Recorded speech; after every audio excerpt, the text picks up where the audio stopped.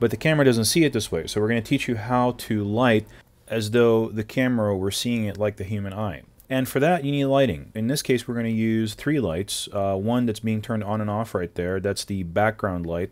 That's going to create the illusion that the fire is actually extending behind the subject and into the background behind him.